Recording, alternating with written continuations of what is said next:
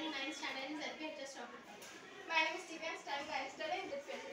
My name is Dukavani. I am studying 9th class in ZPHS. My name is Jairam. Biology teacher, JPH Chodupalli. Today we are discussing about Pratistha. Unit, unit, Ah, unit, Unit 5 living Diversity. diversity of living organisms. uh, diversity living organism. Okay. Pratishta move with the help of cilia, flagella, Uh, pedestrians move with the help of cilia, flagella and hair-like structure. Okay. Examples for Pratistha are non-stick Non-stop. non-stop and back. Uh, example for pedestrians are nostoc and bacteria. And your part. Pratistha. Pratistha. Pratistha uh, are unicellular organisms. Yes. Examples for Pratistha are non-stack and bacteria. Bacteria. They are they don't have nucleus. Yes, they don't have They nucleus. also They also, they also have, they don't have, they also do not have what? Cell organelles. Cell organelles are upset. They Reproduce. they reproduce by means of spit. Yes, they They reproduce by means of splitting. Yes, They take food through body surface. Yes, they take food through body surface. They don't have clear nucleus.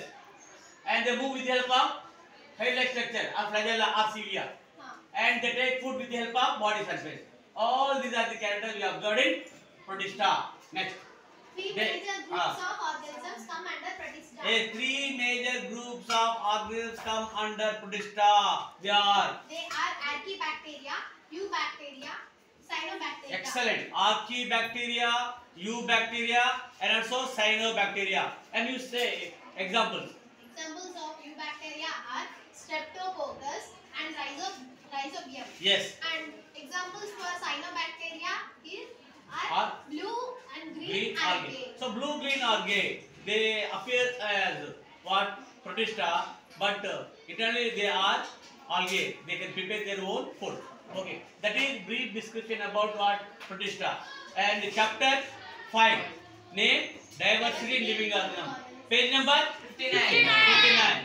Figure number Three. So this is about Protestant characters. So tomorrow I'll ask you some question regarding this topic. Be prepared. Okay? All of you note down this uh, diagram, draw, draw the diagram and also note down the matter.